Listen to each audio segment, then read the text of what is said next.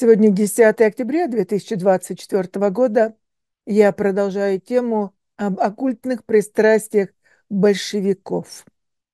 Это второй ролик, но у меня есть статьи на эту тему. Очень много я писала в свое время. И сейчас я просто вспоминаю из того, что когда-то писала. Давайте, друзья, представим себе большевиков 2000 17 нет, 1917 год. Вот они пришли к власти. Кто они? Мы не знаем. Пришли к власти большевики. Круг стоящих перед ними задач мы уже обрисовали в первом ролике. Послушайте, нужно каким-то образом зомбировать. Если не, скажем, я не знаю, сколько было тогда в России, возможно, полмиллиарда, возможно, а может быть все полтора миллиарда, на этот момент в России жило Сибирь, средняя полоса, где-то полтора миллиарда человек, возможно, два с половиной. Друзья, здесь ведь из какого места начинать считать, вернее, от какого числа нашей истории. Потому что до этого, во времена, скажем, Чингисхана, здесь было огромное количество людей, порядка пяти миллиардов.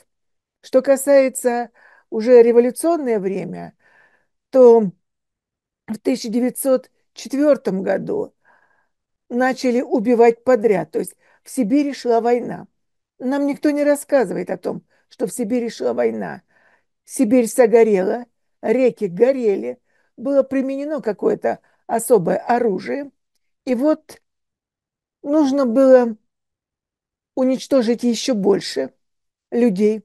Это 1900 17 год, то есть тем, что Николая II послали. Николая II это кайзера, но неважно, друзья, мы пока будем э, теми именами, которые нам дала история. И вот Николай II по молодости, будучи совсем молодым, он просто убивал.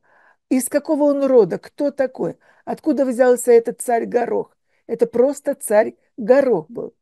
Рост его, ну, метр 42, метр 48, наверное, коротконожка. Я даже не знаю, насколько он был вообще похож на человека, если вы еще и рассказываете все о том, что Русь это была богатыри, и вдруг такой вот батька Черномор, помните, который летал на бороде, так вот это ведь о России. Руслана и Людмила – это о России. Черномор победил. Об этом мы с вами еще поговорим. А сейчас пока будем говорить о колдовстве большевиков. Они очень сильно применяли колдовство. На э, той территории посредством страха, крови, бесконечных убийств нужно еще было обработать как-то население, то есть большую часть населения зомбировать. Для этого у них имелись знания, может быть, не полные, но они их старались пополнять. Знания, позволяющие передать этим миллионам некий, миллионам людей, некий зомбирующий сигнал. Знание строительства зиккуратов, принесенных из древнего Вавилона.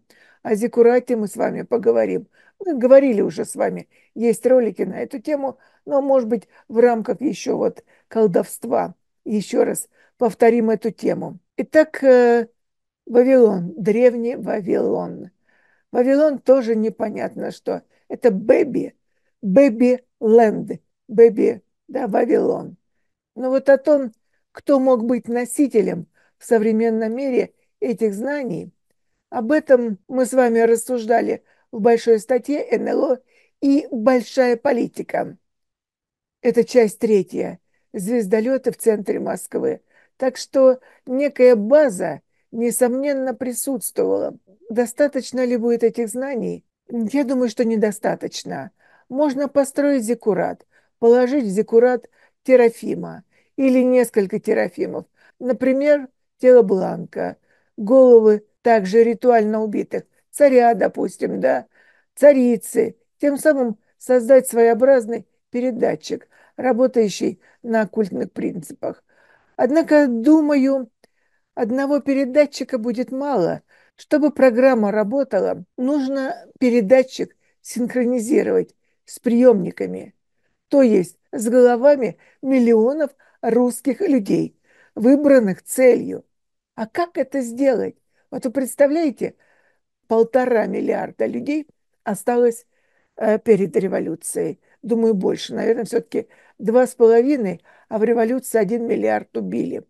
А дальше уже убивали во время Второй мировой войны. Вот эти все сталинские гулаги и то, что было до них, оружие в виде голода, это тоже уничтожение населения.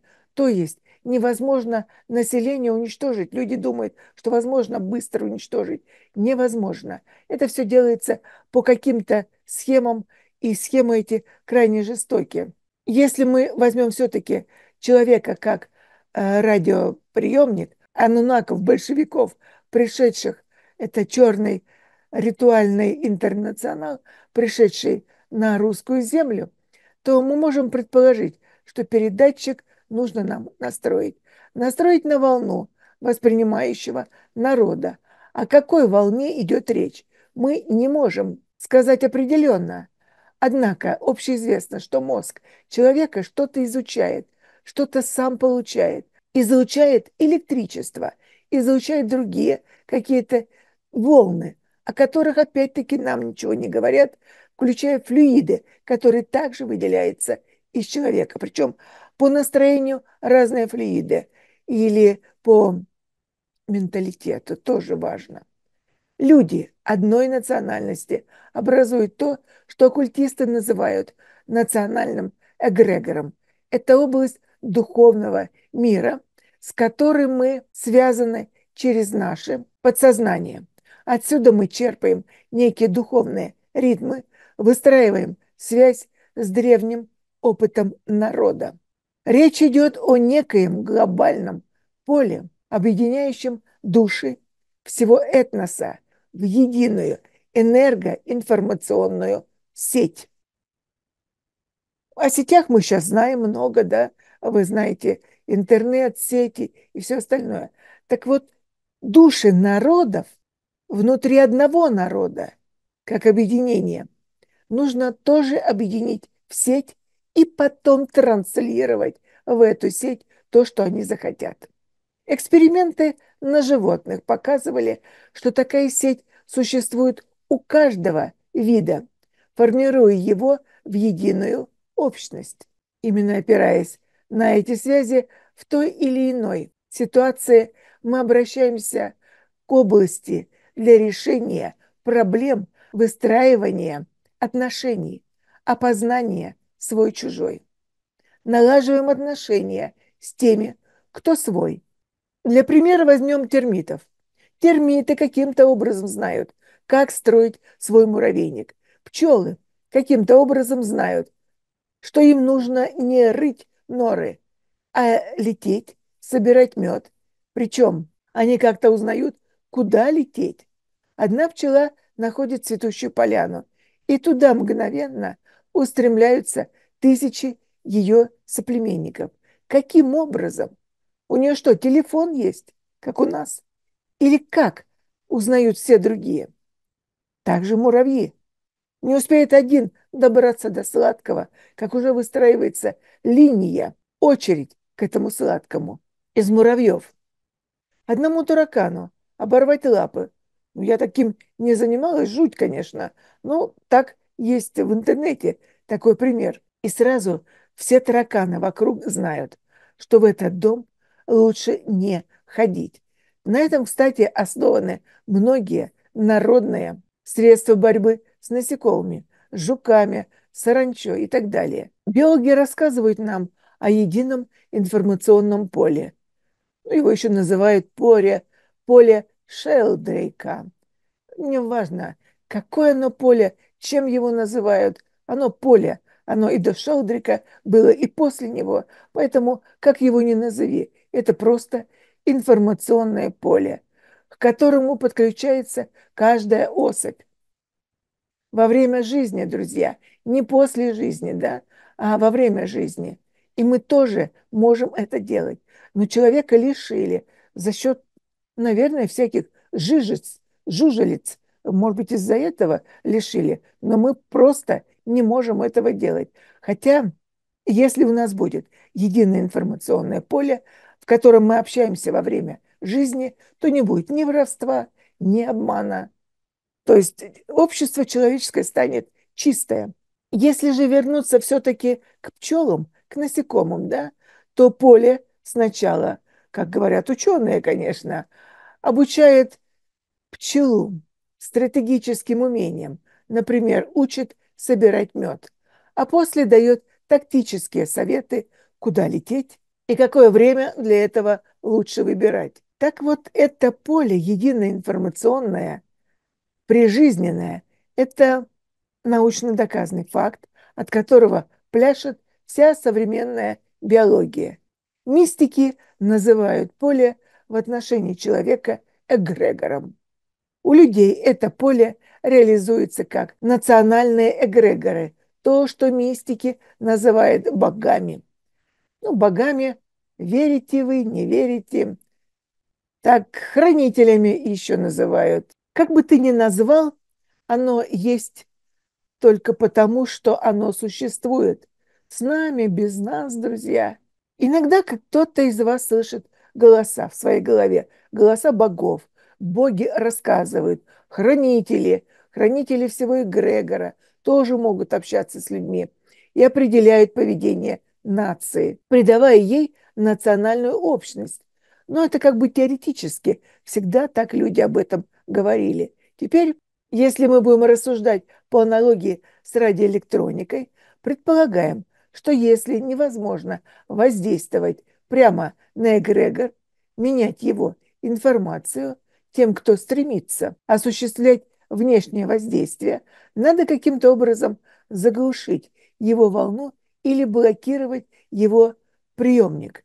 Каким образом? То есть ту или иную часть мозга, если приемником является человек или человеческое стадо, да, человеческий, человеческое образование, народ.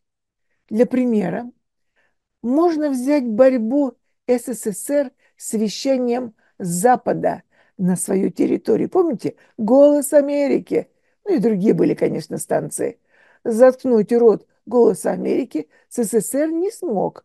Возразить что-то вразумительное СССР тоже не смог. Было нечего возражать. Однако в Совдепе проблему решили. Были запущены машины, генерирующие шумы на нужной волне, так называемые глушилки. Человек слушает голос Америки, а кроме хрипа и обрывка фраз ничего не слышит. И зиккурат вполне можно использовать в качестве такой глушилки, в нашем случае русского национального эгрегора. То есть зиккурат могли поставить, чтобы заглушить русский национальный эгрегор. Но для того, чтобы люди воспринимали это всерьез, взяли, положили мумию. Причем мумию сто раз меняли. Это уже не тот, это уже не Ленин. Это вообще неизвестно что. Это что-то такое, ну неважно, не буду даже обсуждать. Но это сто раз уже не Ленин. Кто это там? Когда положили? Рассуждать на эту тему, оно довольно глупо. Важен сам принцип. Принцип устремления на Кремль наших мыслей. Мы мыслим, Кремль нами управляет. Поэтому именно у стен Кремля поставили этот зиккурат, который транслирует шумы в нашу голову э, на наших человеческих недочастотах. Для этого нужно только настроиться на частоту этого эгрегора, то есть настройку иметь, сонастройку. И когда эта сонастройка происходит, после этого передают шумы или патогенную даже информацию с разлагающегося трупа Владимира Ильича Ленина. Нет, друзья, это, конечно, все не так, но это запускают такую мысль, запускают мысль, чтобы люди об этом думали. Это нам рассказывают. Вообще все это не так происходит. Но а зачем нужно знать как? Вот есть просто эм, обработка населения через телевидение, через шумы, через радио. Но не только, друзья. Купол над нами, воздух, облака используют с этой же целью. И так было всегда. То есть это не сегодня придумано, это не новейшие технологии, так было всегда. Дождь тоже может нести в себе информацию. Попадает он в ваше село, и вы имеете уже на утро совершенно другие мысли. Было так у вас? Просто повспоминайте. Например, когда работают экстрасенсы с одним человеком, также на его волну помогает настроиться какая-нибудь его вещь. Почему иногда, разыскивая человека, берут вещь? Но ну, вещь, которая сугубо принадлежала и использовалась только этим человеком. В данном случае артефактом любого народа пытаются сделать некий культовый камень, некое культовое сооружение. И люди начинают туда ходить, э, молиться, просить что-то. И на самом деле вот эти культовые предметы есть то, через что влияют на человека. На них, на культовых предметах, тоже какое-то идет воздействие, которое дает обратку на тех людей, которые начинают думать об этом предмете. Это древние артефакты. Чем древнее артефакт, тем больше охват этноса, так как выше вероятность того, что предки всех живущих ныне, были связаны с этим артефактом. Это как бы еще одна часть, небольшая входа в тему оккультное пристрастие большевиков. На самом деле большевики-то использовали магию, а магию они брали у других народов, а потом все это они соединяли в еврейских книгах, книга Тания, она не была изначально еврейской книгой, она была книгой древней. Вот по ней строились. Таня – это не еврейская книга. У евреев нет даже имени Таня, а книга называется Таня. Вы можете сто раз сказать, что это Тания, что это не то слово. Друзья, Таня, оно и есть Таня. Так что книга называется Таня. Почему? Но это мы с вами опять-таки можем возвращаться к этому. Это целый пласт науки, который я сейчас поднимаю, показываю вам, что такое оккультизм. И что оккультизм на сегодняшний день в руках еврейского народа и в руках черного интернационала. Они взяли власть в этом разделе влияния на людей, они взяли власть в свои руки. И здесь ведь очень легко Сначала запугать народ, убить, э, уничтожать, а потом делать его дебильным, но потом и брать власть над ним. Над дебилом всегда легко властвовать, всегда легко управлять дебилом. Я думаю, что это легко понять вам всем. Давайте мы еще раз вернемся к этому вопросу. На сегодня я пока закончу, потому что, насколько я вижу, как бы воспринимать информацию, тяжелую информацию, да, я ее даю легко, но ее воспринимать очень тяжело, потому что нужно переработать, понять, через себя прогнать всю эту информацию. А если ты не владеешь этой информацией, а слушаешь ее извне, то каждому человеку это тяжело дается. И надеюсь, что это будет понятно. А, цикл у меня о большевистском оккультизме. Большой цикл. И я надеюсь, что мы с вами еще продолжим. Вы пишите, какие вас вопросы интересуют и какие бы вопросы вы хотели бы обсудить в этой связи. Потому что магия, как правило, на сегодняшний день ее нет в народе. То есть есть где-то, может быть, еще, может быть, может быть, друзья, остались где-то старые бабки или у кого-то перешло по наследству. В общем, все это становится блефом. Из человека нашего, современного, это все вытравили, вычистили из него, выбили, и все из него выбежало, все, что называлось магией. Говорят, ее просто нет. Значит, будем верить, что ее просто нет. А вот есть она или нет, друзья. Знаете, иногда я вот рассказываю о том, что я веду курс лекций, о том, что я рассказываю, что это такое. Да, конечно, это все есть. Я рассказываю. Люди хотят научиться, но прежде всего необходимо обращаться к себе. чистить себя самого, а потом только вникать в знания. Это трудно понять, друзья. Я понимаю, что это трудно понять. Хочется быстро, сразу, с наскоку.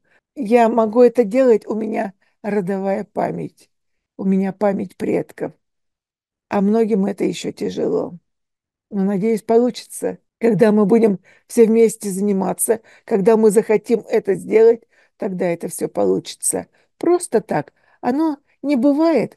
Не могу сказать, что это все трудно слишком делается, друзья. Но элементарно надо очистить свой организм через то, что ты не должен есть трупы. Труп животного, человека, насекомого. Труп. Ты не должен есть труп. Умерший продукт. Он должен в землю уйти. Он должен быть переработан. А если человек кушает трупы, тех существ, которые обладают кровью, которые несут в себе кровь, то это самое страшное. Это и есть тот грех, когда вы поедаете подобное себе существо. У него кровеносная система, но не можете вы есть труп, у которого есть кровеносная система. Вам понятно? Я думаю, что этот вопрос понятен. Я Таня Карацуба, Сиит Бурхан. 10 октября 2024 года, но цикл статей на эту тему у меня написан... О, друзья, как бы мне еще вспомнить, когда он был написан? Наверное, в конце 90-х годов, может быть, в начале нулевых скорее всего, в конце 90-х годов. Но это уже сейчас не важно. Важно, что все равно больше 20 лет прошло, как написаны эти статьи. Я сейчас потихоньку, понемножку начинаю их вспоминать и озвучивать вам.